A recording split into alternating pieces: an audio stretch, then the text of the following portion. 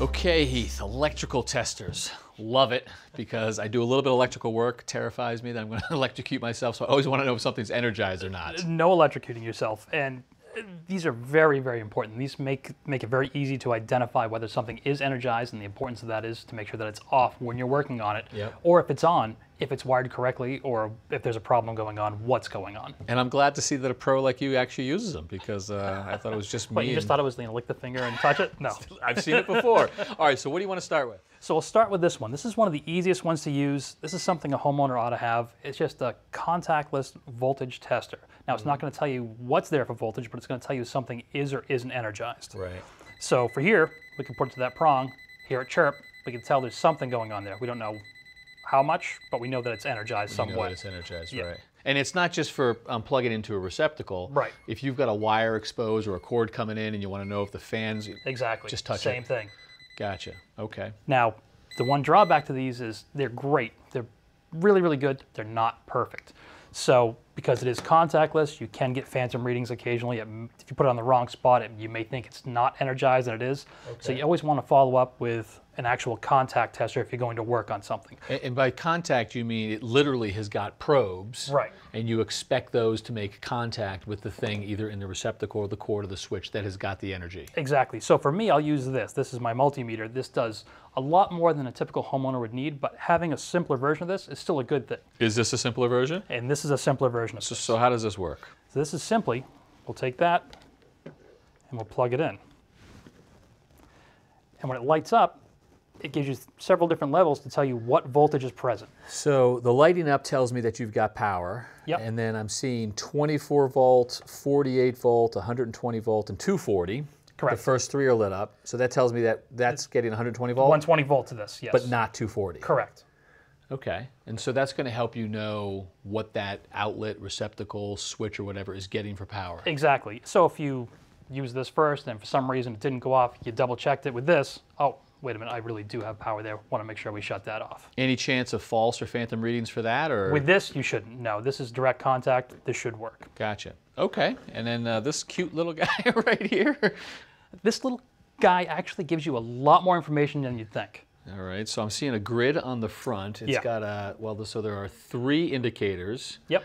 And on the grid right here, it's got different combinations. The first one is off, middle one's on, second one, so forth. Exactly. What's this telling us? So we can't use it on the two prong, which is why something like that works well. Mm-hmm. But if you have three prongs, this will give you a perfect indication of what's going on.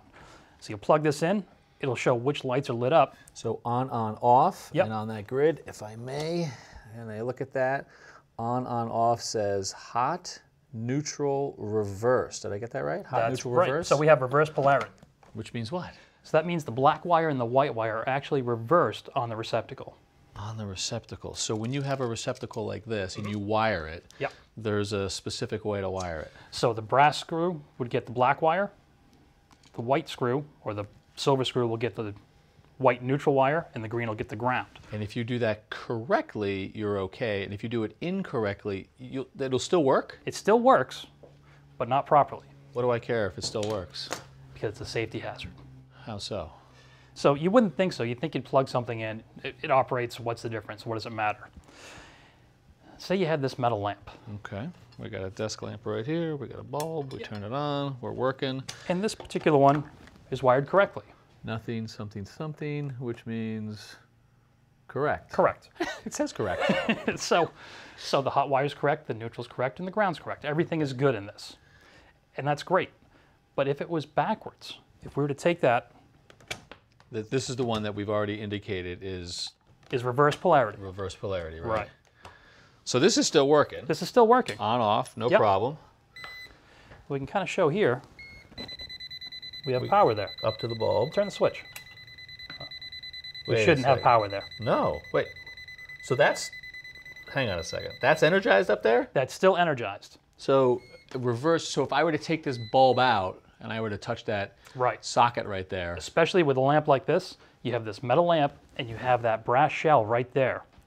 You're waiting to get zapped. why is that happening with the wires reversed? Because in a socket, the center pin wants to be the hot wire, wants to be the black. The shell wants to be the neutral. Right. When it's reversed, it goes the other way around. So And it's also the switch is now turning the neutral off and not turning the hot conductor off. So there's a little pin in there. Mm-hmm. I'm not going to touch it. That's supposed to be the don't. hot. The shell's supposed to be the neutral. Those are now reversed, which means the power's coming to the shell. The- Correct. Really? If we put it back the way it should be, put that bulb in. Okay, hang on. This is confusing.